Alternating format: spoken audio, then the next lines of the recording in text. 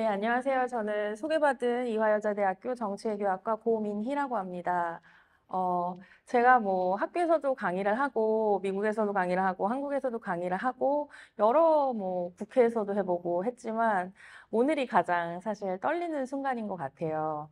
제가 아무래도 여대에 있다 보니까 여학생들을 대상으로 강의를 많이 하고, 또 나이 드신 분들이라든지 이렇게 어떤 이렇게, 어, 내용의 직접적인 대상자가 되는 이렇게 어, 20대 남성분들, 20대 여성분들을 상대로 강의를 하는 게 저한테는 굉장히 뜻깊고 굉장히 의미 있는 일인 것 같고 또 사실은 제가 말한다기보다는 여러분들이 말씀하시는 거를 제가 좀 더 듣는 시간이 됐으면 좋겠다 이런 생각도 하는데 어, 그런 부분들은 이따가 Q&A에서 좀 더 심도 있게 어, 얘기를 하, 해보도록 하겠습니다.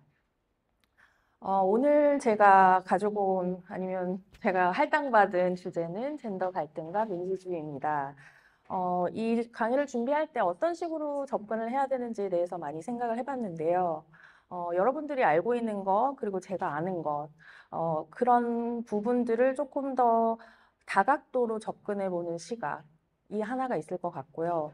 또 다른 한편으로는 사실 모르겠어요. 여러분들이 어, 학교에서 내지는 뭐 이런 자리에서 얼만큼 뭐 젠더라든지 이런 민, 젠더와 민주주의의 관계라든지 이런 부분에 대해서 어, 수업을 듣거나 연구를 해보실 기회가 있었는지는 모르겠는데 어, 저의 또 다른 목표는 지금까지 진행되어 왔던 이런 젠더라든지 민주주의라든지 어떤 양성평등에 관한 연구를 소개하고 어, 이런 어, 연구를 바탕으로 우리가 어떤 어, 좋은 제도 개혁을 디자인할 수 있을 것인가를 생각해보는 시간으로 구성을 하였습니다. 생각보다 어, 젠더 갈등이 한국에서 굉장히 심하고 이런 부분들이 어, 정치의 영역, 그 다음에 경제의 영역, 그리고 사회의 영역에 많은 부분 회자가 되고 있다는 것을 보여주는 어, 뉴스라고 할 수가 있습니다.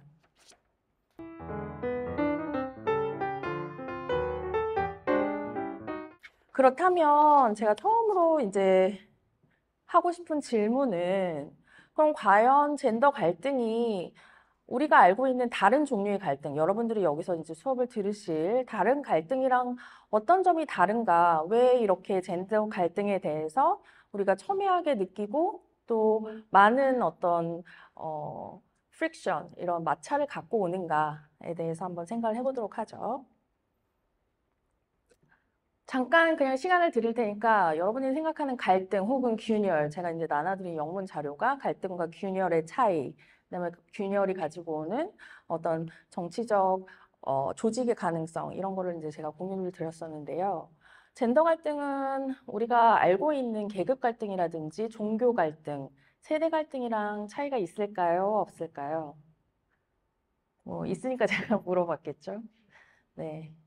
뭐 있다고 하는 사람도 있고 없다고 하는 사람도 있습니다. 근데 균열이라는 것은 하루 아침에 형성된 것이 아니고 사실은 오랜 세가, 어, 어, 오랜 시간에 걸쳐서 이렇게 공고해지는 면이 있다고 볼 수가 있겠죠. 그래서 어, 여기 잘 보이진 않는데 어, 이제 이 네모의 사이즈는 정치적, 경제적 자원의 이제 사이즈라고 보시면 될 것 같고 주로 이제 이 파이를 이렇게 파이라고 치면 파일을 많이 갖고 있는 세력 혹은 그룹과 파일을 적게 갖고 있는 그룹이 이제 서로 정치적인 어떤 경쟁을 벌이게 되는데요.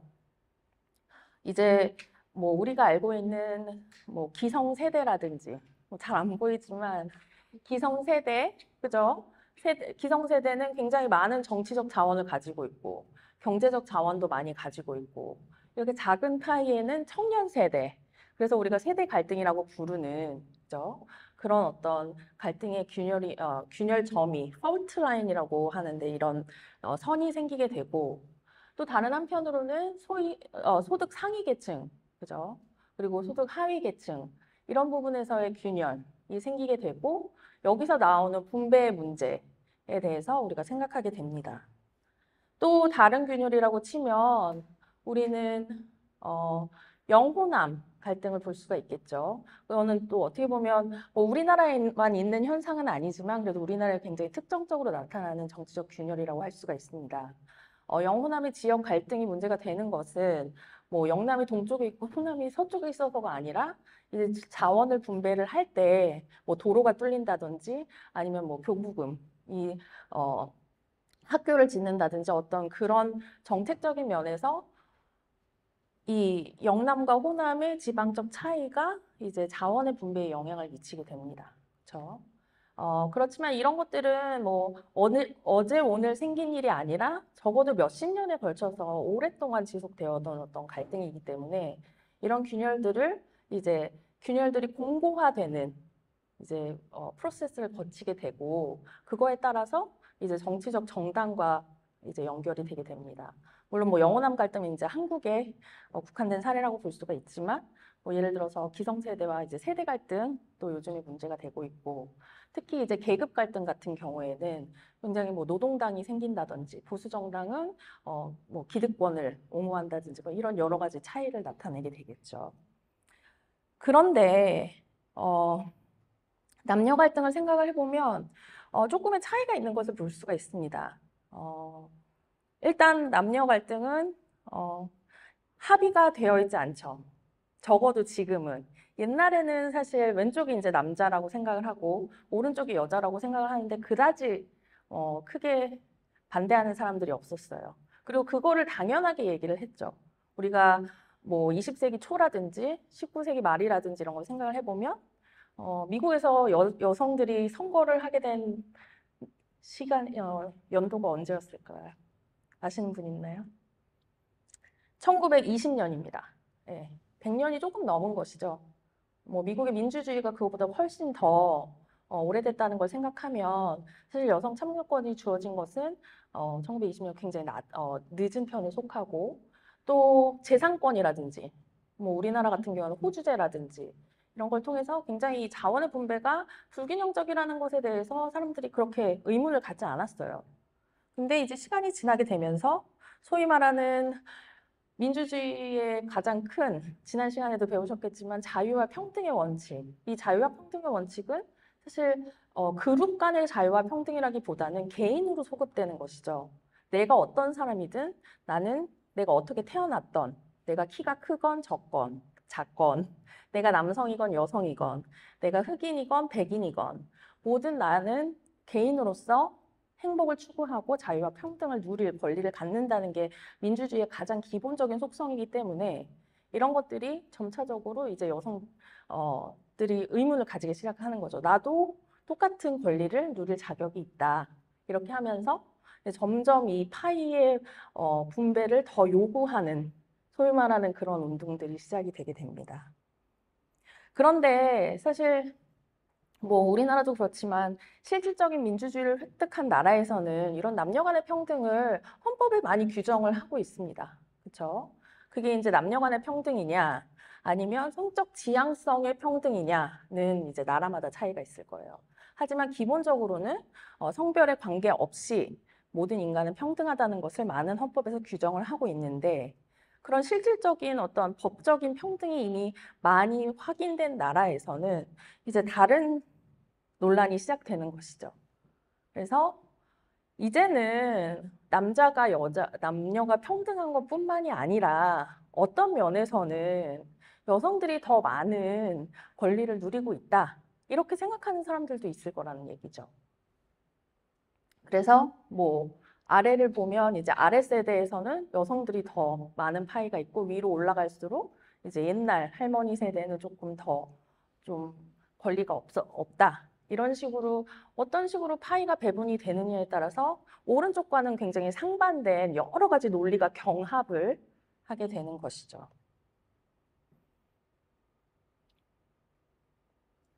그래서 뭐 정리를 해보면 먼저 어, 세대 갈등이라든지 그 다음에 계급 갈등이라든지 우리나라는 많이 없지만 종교 갈등도 굉장히 심하고요. 지금 뭐 이스라엘에서 벌어지는 것도 종교 갈등에 기반한 것인데 이런 것들은 굉장히 오랜 역사와 또 억압의 어, 그런 기록을 가지고 있습니다. 그럼에 비하, 그럼에도, 어, 그것에 비하여 젠더 갈등은 이제 훨씬 더 다이내믹한, 그죠? 어, 그런 과정을 거치게 되고, 그래서 어떤 식으로 어, 파이가 분배되어 있는가 자체에 대한 합의에 지금 이르지 못하고 있는 것 같아요. 적어도 한국에서는. 옛날과 비교했을 때, 1970년대나 80년대랑 비교를 했을 때. 그래서 이런 여러 가지 논란 혹은 이제 논쟁의 여지가 있습니다. 뭐, 여러분들도 다 아시겠지만 누가 더 피해자인가? 피해자, 가해자의 약간 그런 언어를 쓰는 것 같아요. 누가 더 억압을 받고 있는가? 이런 어떤 파워의 문제가 있고 또 다른 한편으로는 다른 균열에 비해서 젠더 문제가 아직 사실은 싱싱한 어, 어떻게 보면 균열이기 때문에 새로운 균열이기 때문에 아직까지는 정치적 조직화에 이르지 못하고 있는 단계라고 볼 수가 있겠죠. 그래서 적어도 한국에서는 어떤 정치인은 정, 어, 예를 들어서 젠더를 뭐 젠더 균열을 정책화하고 정치화했지만 정당은 사실 어떤 식으로 이 젠더 균열을 정책화했는가에 대해서는 생각을 해볼 필요가 있, 겠습니다 우리가 어, 젠더 균열 아니면 젠더 갈등을 정치에서 얘기한다고 했을 때 우리가 소환하는 것은 정치인들의 언행이지 정당의 어떤 정강, 정책들이 아니란 말이죠. 그렇기 때문에 이것들은 굉장히 어, 휘발성이 강하고 그죠? 그 사람이 뭐 당선이 되느냐, 당 대표가 되느냐, 이런 것들에 따라서 굉장히 어, 실행력도 차이가 있게 되고요. 그렇기 때문에 정당에서 정책화되지 않은, 정치화되지 않은 균열은 사실 어딘가에서 표출은 돼야 될 거 아니에요. 갈등이 없는 것이 아닌데. 그렇기 때문에 이게 시민사회의 영역에서 특히 이제는 시민사회라고 하면 오프라인만을 의미하는 것은 아니겠죠. 여러분들이 아시다시피. 그래서 시민사회에서 이런 불만의 표출 내지는 어, 급진화 양극화 현상들이 나타나게 됩니다. 뭐 이것들은 이런 균열들은 사실 어, 젠더 갈등에만 있는 것은 아니었어요. 예를 들어서 흑인 그러니까 흑백 갈등이 굉장히 첨예 하던 때에서 보면 뭐 여러분들 들어보셨을 수도 있겠지만 뭐 말콤 X라든지 이런 흑인 운동가들은 굉장히 뭐 블랙 팬서라든지 이런 사람들은 우리가 절대 평화적인 방법으로 어, 평등을 이룩할 수 없다. 인종적인 평등을 이룩할 수 없다. 우리는 혁명을 일으켜야 된다. 이렇게 급진적으로 나간 사람들도 있었어요. 뭐 마틴 루터킹 주니어만 있는 것이 아니었다는 거죠. 그 다음으로는 사실 이 젠더 갈등이라는 것이 약간 있는 것 같은데 또 없는 것 같은 부분이 있어요. 왜냐하면 여러 사회과학 연구에서 보시다시피 사실 여러분들이 굉장히 다른 것 같지만 예를 들어서 어떤 이슈에 대해서 어떻게 생각하세요? 이렇게 자세히 물어보면 굉장히 비슷하단 말이죠. 20대 남녀들이 적어도 아니면 3, 40대 남녀는 말할 것도 없고 사실은 정치 이념에 따라서 여러분들에게 뭐 북한에 대해서 어떻게 생각하느냐, 통일에 대해서 어떻게 생각하느냐, 내지는 뭐 경제 재분배에 대해서 어떻게 생각하십니까? 내지는 뭐 이민자에 대해서 어떻게 생각하십니까? 이런 것들을 물어봤을 때는 굉장히 뭐 성차가 그렇게 많지 않은 결과가 나오기 때문에 마치 젠더 갈등이 진짜로 있는 것인가 하는 것에 대해서 의문을 가지는 학자들도 있습니다. 그래서 이런 것을 볼 때 사실 어, 한국에서의 젠더 갈등이 여러모로 사실은 moving target이 많은 거예요. 젠더 갈등이 있냐 없냐부터 시작해서 있다면은 누가 더 뭐 억압을 받느냐, 누가 억압을 하느냐, 뭐 그러면 어떤 정책이 나와야 되느냐 여러 가지로 사실은 어, 해결되지 않은 문제들이 많고 그렇기 때문에 여러분들의 역할이 더 중요한 것 같아요. 다음으로 제가 물어보고 싶은 것은 그렇다면 우리가 한국 사회에서 젠더 갈등을 굉장히 얘기를 많이 하고 이렇게 정말 뭔가 제가 이걸 걱정할 정도로 사실 어, 내가 이런 얘기를 해서 사람들이 나를 뭐라고 하지 않을까 막 이런 생각도 하거든요. 내가 젠더에 대해서 얘기를 하면.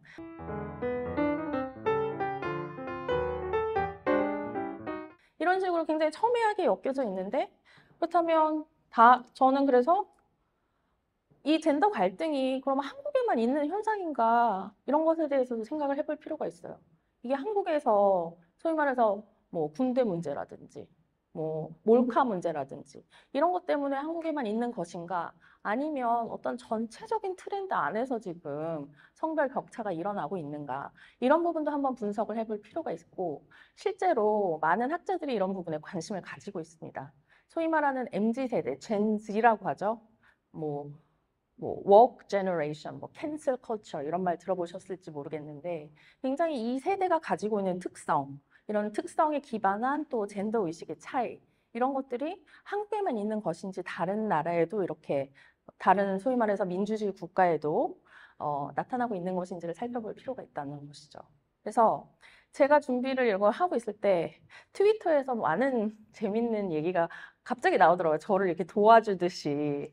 그래서 어떤 어, 포춘이라는 잡지의 아, Financial Times, FT에서 어떤 기자가 이, 이 그래프를 올리고 이게 소위 말해서 그 리트윗이 엄청 돼, X죠, 이제 트위터가 아니고. 그래서 여러분들 영어를 잘 하시니까 어, 이걸 간단히 말씀을 드리면 여기서 굉장히 이념적인 격차가 젊은 young men and women in countries across the world 세계를 다 이렇게 걸쳐서 일어나고 있다는 주, 어, 제목의 기사를 뽑아낸 거예요. 그래서 나온 첫 번째 이 어, 예시가 사우스 코리아입니다. 그래서 여러분들한테 한 10초 정도 드릴 테니까 한번 한번 보세요. 이게 뭘 말하는 것인가? 여러분들 이제 수업을 들으시면 X축이 뭐고 Y축이 뭔지를 먼저 살펴봐야 되죠. 네, X축은 이제 시간의 흐름입니다. 2005년부터 2022년?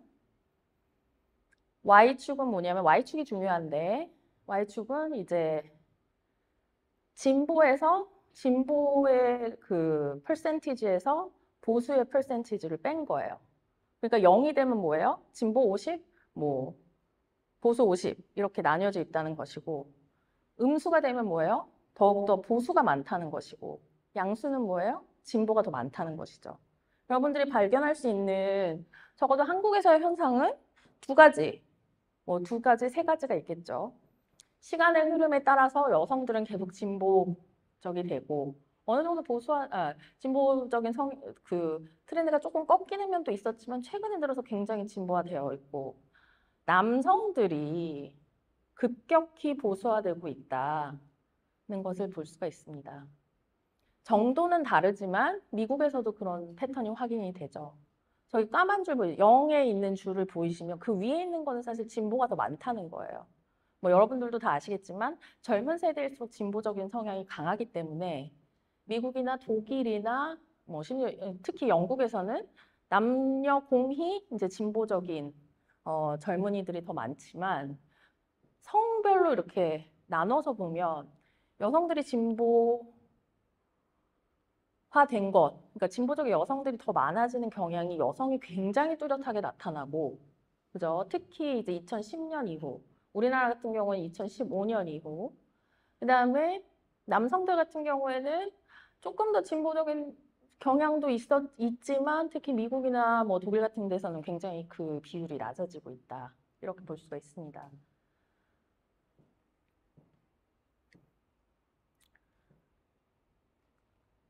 그 다음에 이거를 조금 더 줌인을 해가지고 한국의 현상을 한번 살펴보도록 하죠. 2019년에 시사인에서 이 젠더 갈등이 너무 심각하니까 우리 그러면은 젊은이들한테 한번 물어보자 설문조사를 진행한 적이 있었어요. 그래서 이 빨간 것만 보시면 이제 소위 20대 남성이라고 하는 이 그룹에서 어떻게 생각하는지를 보여주는 그래프입니다. 그래서 여성 차별 문제가 심각한가라는 질문에 이제 37.5%, 아, 37. 37%의 남성, 20대 남성들은 별로 심각하지 않다. 23.8%는 전혀 심각하지 않다. 이런 이제 남, 남녀, 여성 차별이 심각하지 않다고 생각하는 비율이 굉장히 남성, 특히 20대 남성에서 많이 나타났고요. 남성 차별 문제가 심각한가? 아까 얘기했던 역차별을 말하는 거겠죠. 이런 부분에 있어서도 20대 남성은 대체로 심각하다 내지는 매우 심각하다라는 반응을 보였습니다. 이거는 사실 감정의 영역이기 때문에 아니라고 아무리 말을 해도 사- 내가 그렇게 느끼는 거기 때문에 그거는 굉장히 우리가 존중을 해줘야 돼요. 이런 현상이 있다는 것을 우리가 발견을 한 것이죠. 그래서 어, 정리를 좀 해보면 정치 이념의 젠더 차이가 사실은 뭐 우리나라에만 있는 현상은 아니고 굉장히 여성들이 진보화되고 남성들은 이렇게 약간 답보를 하면서 조금 더 보수화되는 성향이 발견이 되고 있는데 그 중에서도 우리나라가 굉장히 극단적인 케이스다. 특히 이제 젊은 남성들이 덜 진보적이 되는 것이 아니라 보수적이 되는 그런 현상들이 많이 나타나고 있고 물론 이제 아까 얘기했듯이 이념 격차가 조금 과장된 것이 아니냐 이런 연구들도 있고 특히 이제 이념을 어떻게 생각을 하는지에 따라서 이걸 정책 선호의 묶음으로 본다고 치면 아까 얘기했듯이 뭐 북한이라든지 경제라든지 이런 걸 보면 사실 젠더 격차가 별로 없다는 주장도 있긴 있어요. 하지만 이제 전반적으로 볼 때는 뭔가가 일어나고 있는 것은 맞다라고 보시면 되겠습니다. 그렇다면 실제로 사실 이념 간에 별로 차이가 없는데 북한에 대해서 생각하는 것도 비슷하고 뭐 경제 정책에 생각하는 것도 비슷하고 한데 이렇게 젠더 갈등이 표면화한 이유가 여러 가지가 있, 있겠죠. 그 부분에 대해서 조금 보도록 하겠습니다. 뭐이 사회심리적 요인이 아니고 그냥 요인이라고 치면 뭐 경제, 문화, 정치의 영역에서 살펴볼 건데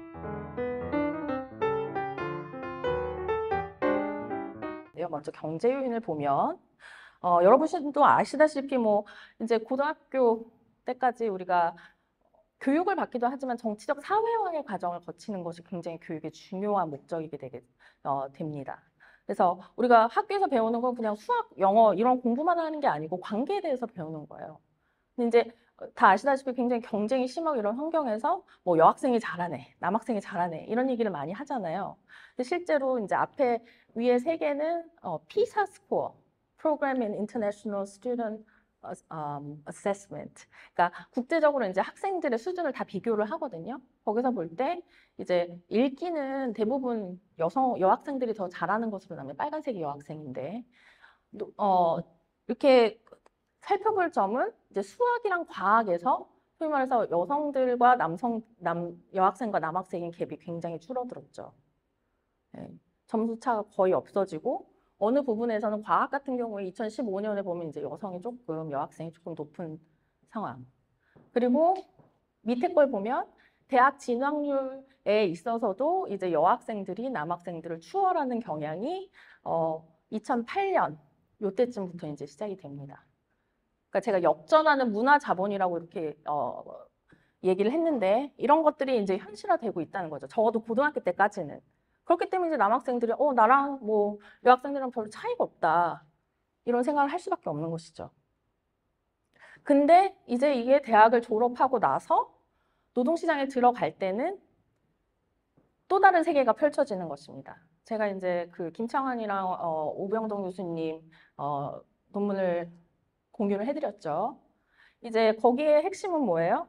20대 대학 졸업자의 여성들은 군대를 갔다 오고 안 갔다 오고를 떠나서 이제 임금이 약 20% 정도 낮다는 얘기인데 그 얘기인 즉슨 어 요거 요 그래프를 보시면 알 수 있고. 그러니까 계속 뭐 내가 공부를 잘하고 뭐 수능을 잘 봐서 대학을 잘 가고 이런 거에 상관없이 노동시장에서는 이 페널티가 존재를 한다는 연구가 굉장히 많이 나와 있고 또 다른 하나는 이제 연령대별 여성 고용률 내가 20대가 우리가 평생 20대로 살 건 아니잖아요. 이제 30대가 되고 40대가 될 건데 여러분들 생각해 보세요. 한 10년 후에 내가 뭘 하고 있을까? 어디서 일하고 있을까? 생각을 했을 때 한국의 여성들은 이제 그림이 두 가지로 나눠진다는 거죠. 내가 일을 할 것이냐, 아이를 낳고 일을 잠시 쉬고 이 휴직일을 가지게 되는 경우가 굉장히 많다는 것입니다. 그게 하나가 있는데 그럼에도 불구하고 20대 우리가 지금 뭐 30대 생각할 지금 뭐 사정은 아니기 때문에 많은 사람들이 20대에 우리가 취직 당장 취직을 할 수 있느냐 없느냐를 많이 보게 됩니다. 그래서 옆에 왼쪽을 보시면 이제 20세에서 29세 사이의 남녀 고용률 경제활동 참가율에서는 여성이 훨씬 더 높게 나오죠. 특히 이제 2018년에 가, 어, 그러니까 계속 어, 현대로 넘어올수록 여성의 어, 고용률이라든지 경제활동 참가율이 이제 남성을 추월하는 현상이 생기게 됩니다. 소위 말해서 이제 밀리터리 페널티라고 얘기하면 될까요? 그런 부분이 있겠죠. 아까 보여드렸던 여성대별, 아, 연령대별 여성 교육의 최신 자료 2021년을 보시면 당연히 이제 70.9%까지 올라가요. 25세에서 29세까지는 여성들이 10명 중에 7명을 일을 하고 있다가 그 비율이 이제 30대 중반에서 계속 떨어집니다. 이거는 그냥 노동을 참, 그 이후로 다시 올라가긴 하는데 이 올라간다는 건 뭐예요? 옛날 같은 직업을 가질 수가 없다는 거죠. 내가 예를 들어 삼성에서 일하다가 애를 낳고 쉬고 다시 삼성에 복직할 수 있느냐? 물론 복직할 수 있는 사람도 있겠지만 대부분은 예를 들어 파트타임이라든지 그죠? 굉장히 이런 secondary income 그 남편이 준 소득자가 되고 부인이 주- 어, 어, 보조 소득자가 되는 경향이 이제 생기게 된다는 것이죠. 그래서 여기서 보면 우리가 불만을 가지는 이유, 우리가 왜 이런 공정하지 못한 경쟁에 뛰어들어야 하느냐라고 했을 때 노동시장에서의 어, 보는 시각 자체가 남성과 여성의 차이가 있지 않을까 이런 생각을 하는 것이죠. 학자들이. 20대 남성은 현세대적 불평등, 내가 20대에서 느끼게 된 불평등, 예를 들면 진학률이라든지 아까 보여드렸던 그 다음에 군복무라든지 고용률에서 모든 부분에서 남성들의 advantage가 하나도 없어요.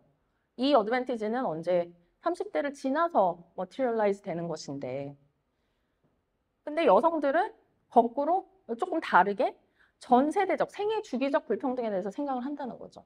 내가 예를 들어서 임금 격차가 있다든지 아니면 경력 단절이라든지 뭐 어떤 위험의 가능성, 리스크의 가능성이라든지 아까 봤듯이 세계에서 우리나라가 뭐 격차가 얼마나더라. 이 수직적인 것과 수평적인 것을 볼 수밖에 없는 그런 상황에 방점을 두는 듯이 보이는 것이죠. 이것에 대해서 이제 작년에 노벨 경제학상을 받은 클라우디아 골든이라는 어, 경제학자는 조용한 혁명이라고 합니다. 그래서 모든 사람들이 막 페미니스트처럼 나가가지고 우리에게 뭘 달라고 요구하는 것은 아니에요.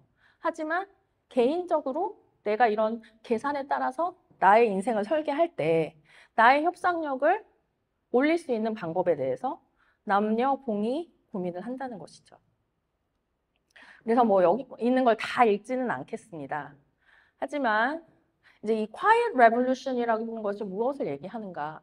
여태까지 제가 보여드렸던 건 어떻게 보면 진화의 관점, evolution의 관점인데 이제는 revolution이 됐다는 거예요. 혁명이 됐다는 것은 세 가지를 의미한다. 이제 골든이 2006년에 이미 17년 전에 얘기를 했는데 첫 번째가 horizon. 제가 지금 얘기했던 어떤 지평에 대해서. 그죠?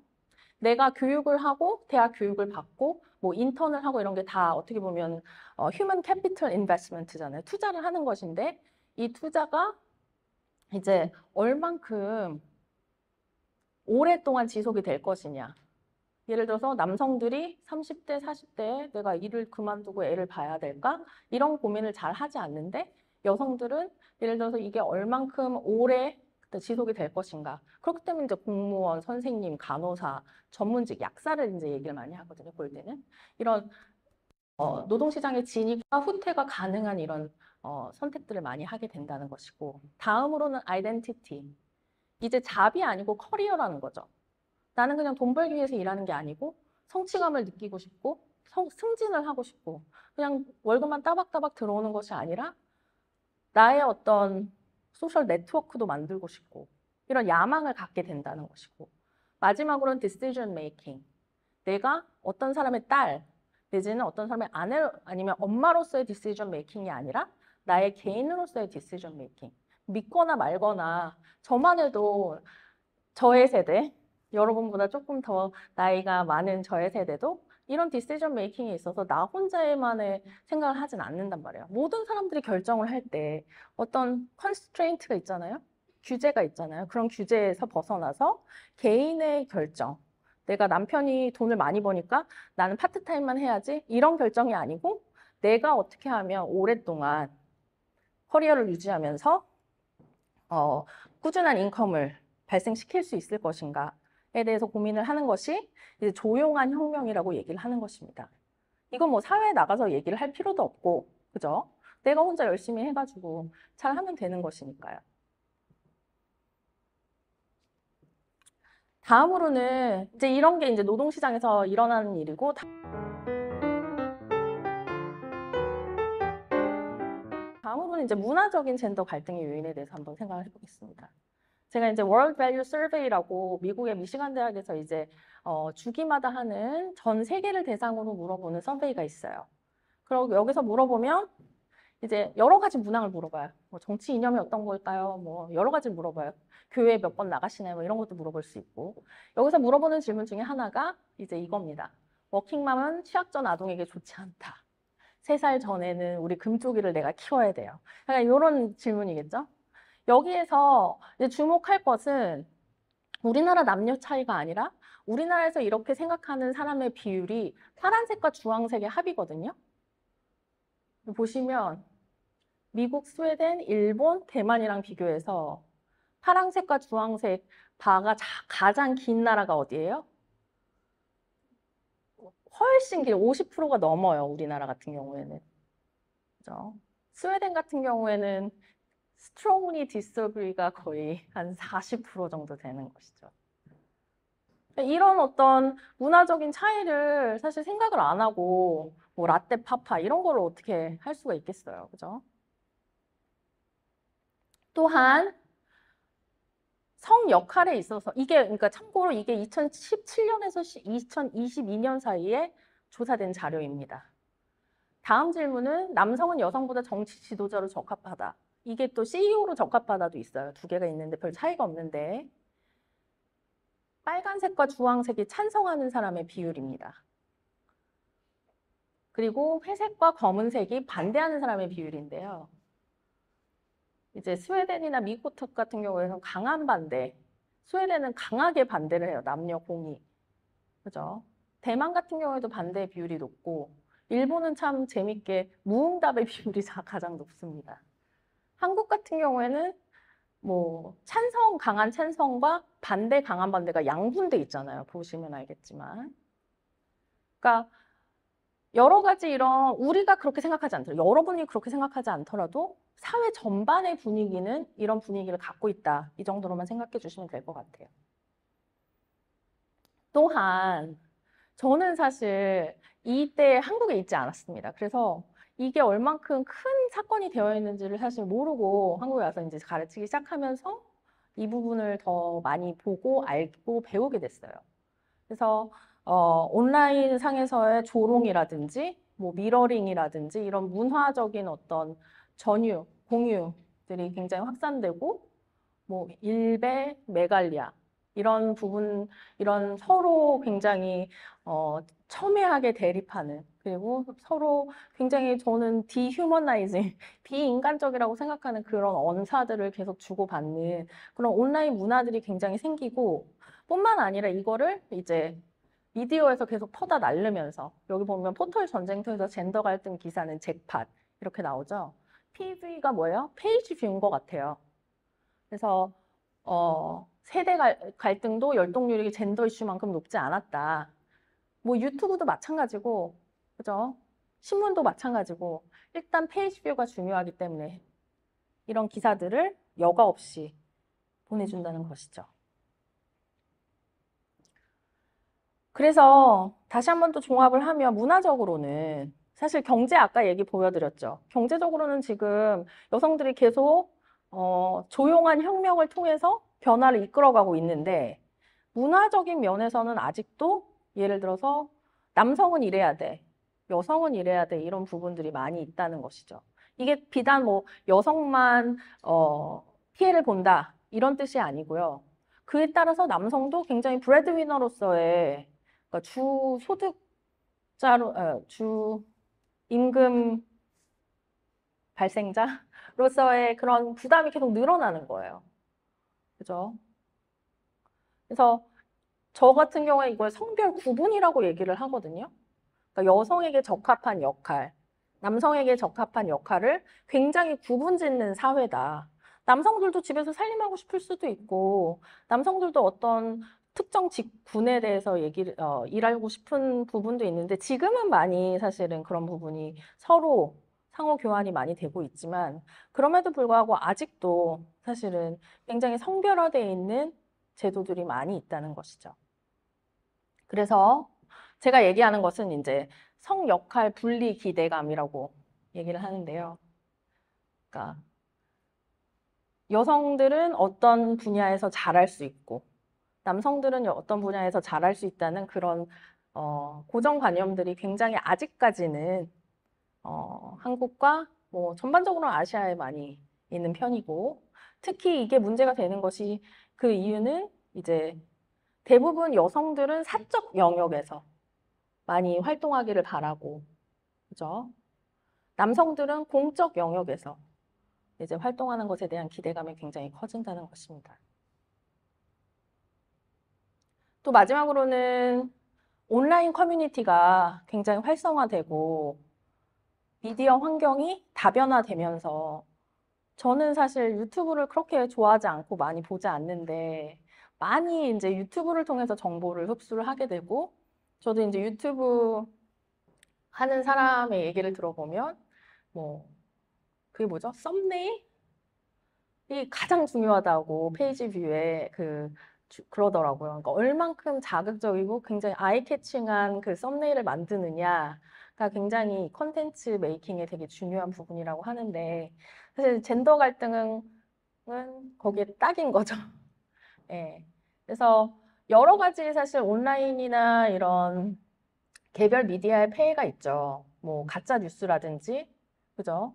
뭐 그런 것도 있지만 이제 노출 부분에서 이런 젠더 갈등이라든지 이런 것들이 굉장히 노출되고 아니면 뭐 악마의 편집 뭐 이런 것도 있잖아요. 그죠? 그래서 굉장히 전체적인 것을 다루는 게 아니라 사람들이 관심 가질 만한 사실은 부분들을 싹 뽑아내서 이렇게 계속 퍼트려지는.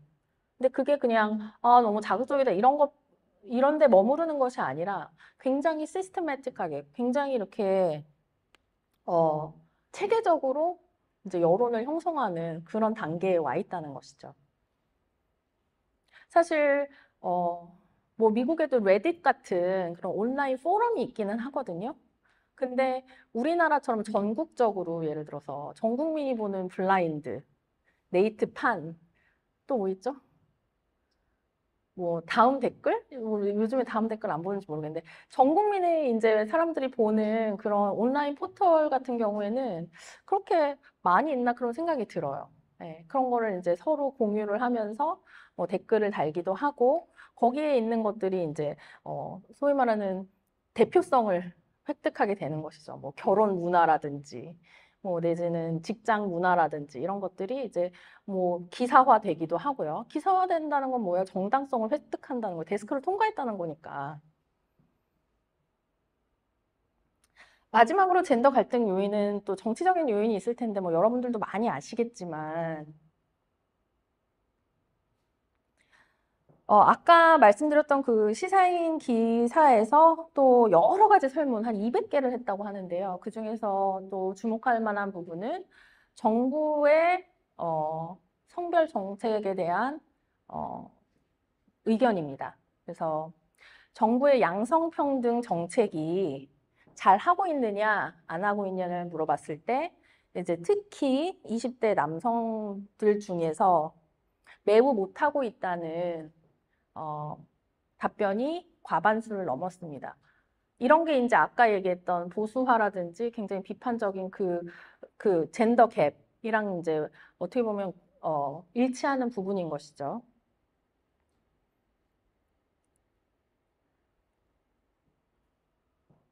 근데 이제 여성들을 보면 제가 여성들은 그렇게 많이 얘기는 하지 않았는데 여성들은 뭐 이게 이제 2019년이니까 어, 문재인 정부 때 이제 얘기를 했던 건데 뭐 문재인 정, 정부가 들어설 때 문재인 대통령이 나는 페미니스트 대통령이 되겠다 뭐 이런 선언을 했었잖아요. 그 이후로 이제 어, 취하는 어떤 정책적인 아니면은 정치적인 스탠스가 이제 20대 남성을 대표하지 못한다는 그런 불만으로 인해서 이러한 설문조사 결과를 볼 수가 있습니다. 또 다른 하나는 사실 어, 법의 집행이 공정한가 이 부분도 사실 굉장히 한국에서 좀 특이할 만한 사항이라고 생각을 하는데요. 20대 남성들이 굉장히 분노하는 부분 중에 하나가 뭐 데이트 폭력이라든지 몰카라든지 이런 문제가 생기면서 나를 굉장히 잠재적인 가해자로 취급을 한다는 그런 생각들을 많이 받게 되는 것이죠. 그죠? 그래서 남녀 간의 법의 집행은 공정한가를 얘기를 했을 때는 뭐 할당제도 있고 하지만 또 예를 들어서 그런 어떤 범죄가 있을 때 내가 약간 도매금으로 남성의 어떤 뭐 남성이 예를 들어서 범죄를 저질렀다라고 성범죄를 저질렀다고 했을 때 그런 것에 대해서 오해받는 그런 부분도 굉장히 억울하게 생각할 수 있는 것이죠. 그래서 공정한 편이라고 생각하는 비율보다 남성에게 불리하거나 아니면 대체로 불리하거나 아니면 매우 불리하다고 생각하는 남성의 비율이 53%, 53.6%가 되어 있는데요. 라고 생각을 한다. 이거는 사실 30대 이상의 남자들도 이렇게 생각을 하지 않는다는 거예요. 그러니까 굉장히 세대 간 격차도 많고, 그죠? 특히 20대 나- 어, 남성들, 또 군대에 가야 되는.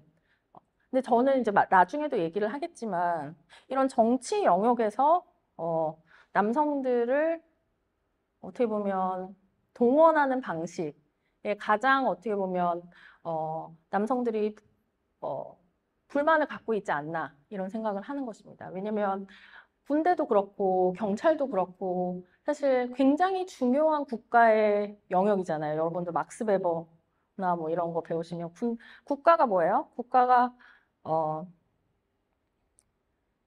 폭력의 정당한 행사, 또 독점이잖아요. 그죠?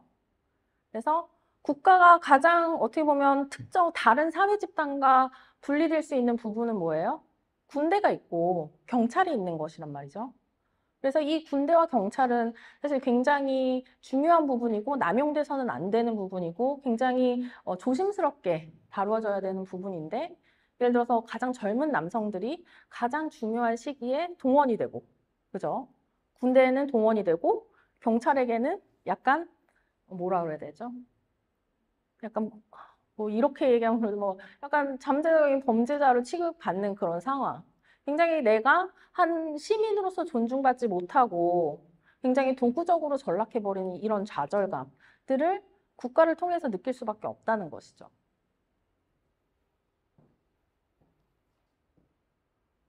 그런 부분들을 예를 들어서 노동시장에서 보상을 받을 수 있다고 한들 사실 그게 cancel out 되는 것은 아니라는 거죠. 내가 어, 군대를 갔다 오면 어차피 임금은 여성들보다 20%더 많게 받을 것입니다. 이런 어떤 기대를 하고 군대에 가는 사람은 없잖아요. 그죠?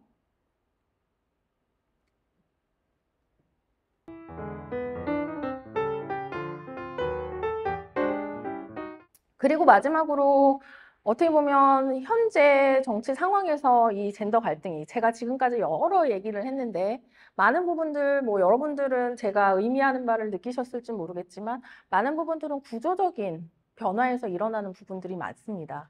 뭐 노동시장의 변화라든가 교육의 어, 정도의 변화라든가 이런 것들은 사실 어느 한 사람이 움직일 수 있는 것이 아니고 오랜 시간을 거쳐서 변화해 오는 것이고 그죠? 문화적인 면에 있어서도 어느 한 사람이 정책적으로 한 게 아니잖아요. 그죠? 많은 어떤 사람들의 어, 행동이 모여서 이런 변화를 만들어내는 것인데 정치적 측면에서는 이거를 어떤 식으로 다루고 있느냐라고 했을 때 굉장히 단편적으로 여성가족부를 폐지하겠다 내지는 여성가족부를 강화하겠다. 그죠? 사실 여성가족부가 20대 여성들에게 어떤 일을 해주느냐 우리도 잘 모르고 여성가족부가 20대 남성들에게 무슨 얘기를 해주느냐 우리가 잘 모르는 상태에서도 지지를 하고 또 반대를 할 수가 있잖아요. 그죠? 또 그 다음으로는 이런 것들이 이제 어, 표심으로 연결이 되면서 여러분들 정치학을 전공하셨으면 아마 이 그림은 많이 보셨을 것 같아요. 최근 대선에서 이제 가장 어떻게 보면 젠더 갭이 심한 세대가 20대라고 볼 수 있는데 요거는 사실은 한국에서 되게 많이 나타난 특이한 현상이라고 볼 수가 있습니다. 왜냐면 어, 미국 같은 경우에는 많은 선진국은 사실 3, 40대, 4, 50대 여성들도 더 많이 진보를 어, 진보 정당에 투표를 하는 경향이 크거든요. 근데 우리나라 같은 경우에는 그런 소위 말해서 현대적인 젠더 격차, 투표 격차가 이제야 나타나기 시작한 것이라고 볼 수가 있습니다. 그래서 저는 사실 연구 주제로는 왜 여성은 진보적인가를 물어보지 않고 왜 여성이 보수적인가를 물어봐야 된다고 생각을 하거든요. 다 40대, 50대 여성들은 왜 보수적일까? 어떤 부분에 있어서 보수적일까? 옛날에 이제 어, 연구들을 보면 뭐 20세기 초, 뭐 20세기 그러니까 세계 대전 일어나기 전까지는 사실 남편을 따라서 투표하는 경향이 많았어요. 예. 근데 이제 전쟁에 특히 미국에서는 근데 전쟁이 시작되고 이제 남편 남자들이 이제 군대로 징집돼서 나가면서 여성들도 일을 해야 됐었거든요. 그렇게 되면서 약간의 조금 변화가 일어나기 시작을 했는데 그 골든의 책에서도 나와요. 커리어 그리고 가정에도 나오는데 근데 우리나라 같은 경우에는 뭐 전후 세대에서 쭉 지금까지 드디어 이제 우리가 책에서만 보던 모던 젠더 갭이 나타나기 시작을 하는 거죠. 그래서 이게 굉장히 염려스러운 상황이긴 하지만 아주 놀라운 상황은 아닌 것이죠. 적어도 정치학적으로 보면. 오히려 어, 어떻게 보면 그런 어, 현대적인 젠더 갭과 그 다음에 지금 현 상태의 어떤 어, 정체성 정치가 맞물리면서 사실 이 갭이 더 커진 것 같아요.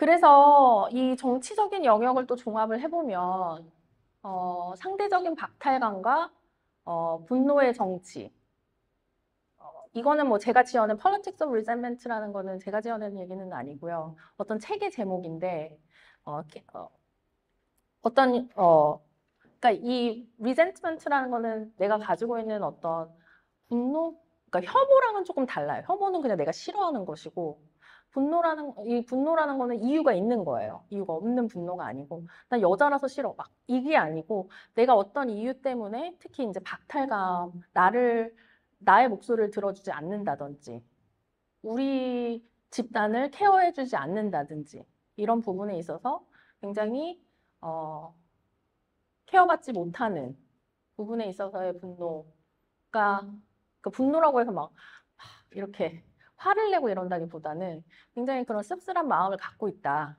이런 부분이라고 생각하시면 될 것 같고요.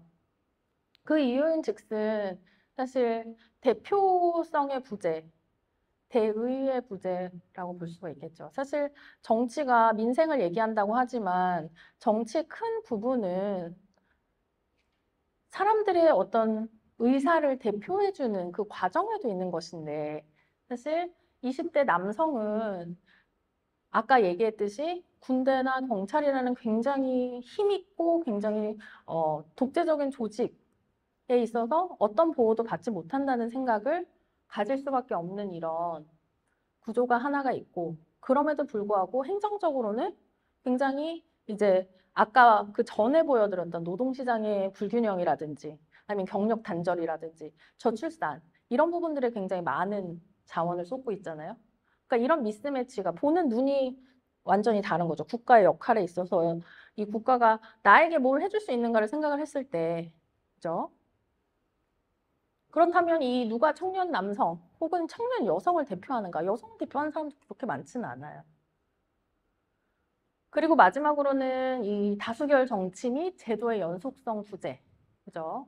그래서 우리가 대표성을 증진시켜야 된다, 불비례성을 극복해야 된다, 선거제도를 개혁해야 된다 하는데 이 선거제도라는 것도 굉장히 불안전하면서도 굉장히 자주 바뀌는 이 소위 말하는 휘발성이 너무 큰 제도들이 있으면서 이게 들썩들썩 하는 것이죠. 그죠?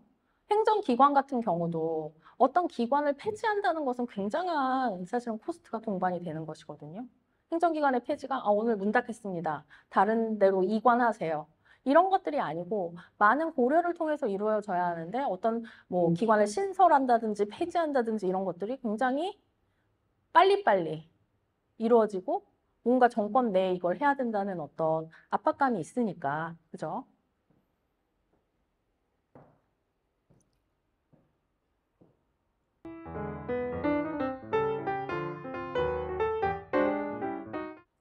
그래서 이제 사실 이 부분이 여러분들에게 어떻게 보면 과제가 될 것 같은데 그럼 어떤 식으로 우리가 이런 갈등들을 조정하고 화합하고 해결할 수 있을 것인가에 대해서 한번 생각을 해볼 필요가 있습니다.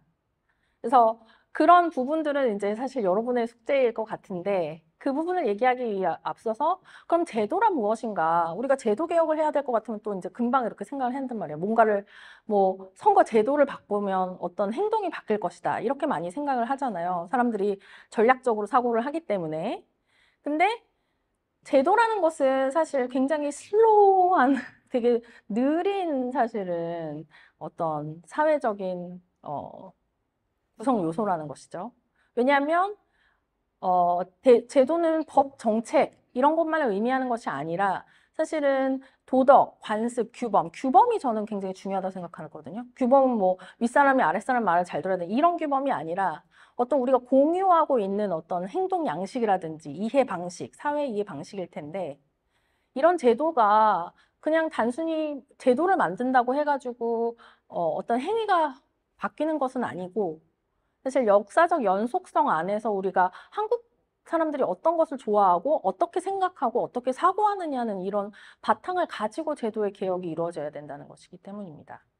그렇다고 하면 이 젠더 갈등을 해소하기 위해서는 어떤 제도적 개혁이 필요할지를 사실 이거는 굉장히 뭐 이 자리에서 얘기하기는 힘들지만 뭐 여가부를 폐지해야 될까요? 놔둬야 될까요? 이런 것은 제도 개혁이 아니라는 것이죠. 여성도 군대를 가야 할까요? 안 가야 할까요? 이런 것들은 yes, no로 얘기하기 힘든 것이 제도의 개혁일 텐데, 그죠? 그래서 이 더글라스 노스라는 사람은 사실 이제 경제학자고 어, 이분도 이제 경제학상을 받았는데요. institution이라는 것은 이제 informal constraints, 우리를 이렇게 우리 사고나 행동을 제약하는 어떤 룰들, 그죠? 남성은 이래야 한다. 젠더 norm이라고 얘기를 하죠. 젠더 규범이라고 얘기를 하는데, 그죠? 여성은 이래야 한다. 이런 속박이라든지 아니면 사회의 구성원으로서 어떻게 행동을 해야 된다든지 그런 것들이 굉장히 사회화되는 것이 군대 중, 어, 그, 어, 그 중에 하나가 학교랑 군대죠. 이제 푸코가 그런 걸 비판하기도 했는데 그래서 뭐 sanctions, taboos, customs, traditions, codes of conduct. codes of conduct가 뭐예요? 어떻게 행동을 해야 된다는 그런 규율. 누구도 그렇게 말하지는 않아요. 하지만 사람들이 다 알고 있는. 그 다음에 formal rules를 얘기하겠죠. 뭐 헌법, 그 다음에 그 하위법, 그 다음에 property rights, 어, 재산권. 이제 롤스는 재산권에 대해서 얘기를 많이 하는데 왜냐면 자유민주주의가 가장 중요로 하는 게 어, 재산권이기 때문에. 그래서 여기 좋은 얘기 이제 뭐 많이 나와요. 여- 여러분은 이제 institution이라는 논문을 보시면 아, 이 사람이 얘기하는 제도는 굉장히 폭넓은 것을 의미를 하는구나. 라는 걸 생각을 할 수 있고 우리가 젠더 갈등을 얘기할 때 온라인상에서의 어떤 뭐 이런 거라든 이런 것보다 훨씬 더 깊은 사실 우리가 어, 사회적인 변화 안에서 살고 있구나 이런 걸 느끼게 되면 이 젠더 갈등의 어떤 해결책이라든지 이런 부분의 범위가 더 넓어질 수 있겠죠. 그래서 우리가 민주주의에 여러 가지 좋은 점들이 있지만 여기서 소환해야 될 것은 사실은 뭐 여성을 뽑느냐 남성을 뽑느냐 이런 어떤 카운트의 문제, 숫자의 문제, 그다음에 야당이 되느냐, super majority가 되느냐 아니냐 이런 것도 있겠지만 사실은 다른 또 민주주의의 많은 제도들에 대해서 생각해 볼 필요가 있습니다. 특히 젊은 세대 같은 경우에는 더 어떻게 보면 어, 목소리도 더 잘 낼 수 있고 논리적으로 또 생각하고 사고하고 그걸 발화할 수 있는 능력이 있는 사람들이라고 저는 믿기 때문에 그래서 우리가 정말 어, 소위 말해서 뜨거운 감자 같은 할당제, 징병제, 뭐 출산, 그다음에 뭐 지방 공동화, 그죠? 지방 공동화도 젠더적인 함의가 있어요. 왜냐하면 많은 여성들이 서울로 상경을 하거든요. 서비스 잡을 찾아서. 그래서 굉장히 지방에서는 성별 불균형이 굉장히 심하고 반면에 또 고령화는 여성 노인들이 많아지고 여성 빈곤율이 우리나라가 세계 최고거든요. 그런 부분들에 대해서 우리가 어떻게 생각을 할 것이냐. 뭐 징병제를 예를 들면 여성도 군대를 가야 된다. 그러면 그냥 가세요. 이렇게 얘기하는 게 아니라 군대 자체의 문화를 어떤 식으로 우리가 개선을 할 것이냐. 군대, 군대에 여성 화장실이 있나요, 없나요? 전 안 가봐서 모르겠지만. 어떤 식으로 우리가 더 소위 말해서 포용적인 환경을 만들어야 내진 당연히 문을 열 때는 사람을 환영하려고 열어야지 벌을 주려고 열으면 안 되겠죠. 그러니까 이런 거에 대한 장기적이고 광범위한 수기 과정이 필요하단 말이에요. 실제로 미국 같은 데서는 여성 운동이 전혀 반대로 일어났거든요. 뭐 여러분들이 이스라엘 이런 거 얘기를 많이 하시는데 나도 군대를 가게 해달라 이런 것들이 뭐 얘기가 있었다고 하잖아요. 실제로 미국이나 이스라엘에는 있었고요. 그러면서 여러 가지 시정 조치들이 굉장히 많이 있었습니다. 미국 군대 내에서도. 그 다음에 정당이 어떤 식으로 행동을 하는가도 굉장히 중요하다는 생각이 드는데요. 뭐 제가 립셋 목한 뭐 여러분들 다 아시겠지만 이 사회적 갈등이 정치적 균열로 균열이란 게 꼭 나쁜 것은 아니거든요. 정치가 이해관계 조정이라고 생각을 했을 때는 정당들이 이런 이해관계 조정을 슬기롭게 풀어줄 수 있도록 하는 게 굉장히 중요한데 이 정당들이 어떤 식으로 이 젠더 문제를 하는가에 대해서 여러분들이 비판적으로 사고를 해야 된다는 것이죠.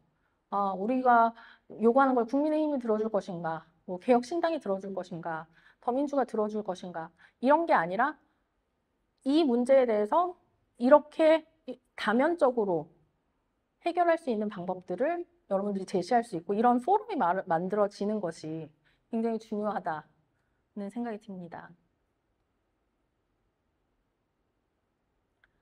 그리고 마지막으로는 이제 사실 교육 개혁은 뭐 너무 큰 문제이기 때문에 제가 뭐 얘기할 수 있는 부분은 아니지만 여러분들 모르겠어요. 저는 이 정치와 젠더라는 수업을 매 학, 매년 학부에서 열거든요. 과연 뭐 다른 학교에서도 이 수업을 여는지는 모르겠는데 어, 이 젠더라는 게 무슨 code word가 무슨 낙인이 찍힌 word처럼 생각되면 안 되고 우리가 다 같이 고민할 수 있는 사실은 요소가 돼야 되고 뭔가 공격이라든지 방어라든지 조롱이라든지 멸시의 어떤 코드가 돼서는 절대 안 된다고 생각을 하거든요. 제가 3년 전에 대만에서 이제 연구 학기를 보낼 때 비슷한 주제로 강연을 한 적이 있었어요.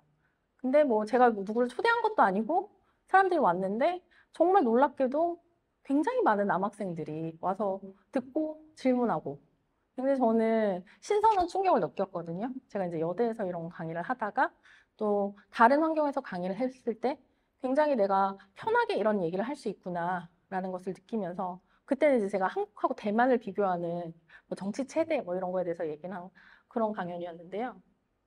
그래서 뭐 꼭 대학뿐만 아니라 초등학교, 중학교, 고등학교에서 어떤 식으로 우리가 이 성에 대해서 내지는 성별에 대해서 아니면 젠더에 대해서 얘기할 수 있는가, 오픈되게 얘기할 수 있는가에 대해서 좀 생각해 볼 필요가 있지 않나 이런 생각이 듭니다. 그래서 오늘은 어, 이렇게 강의를 마치고요.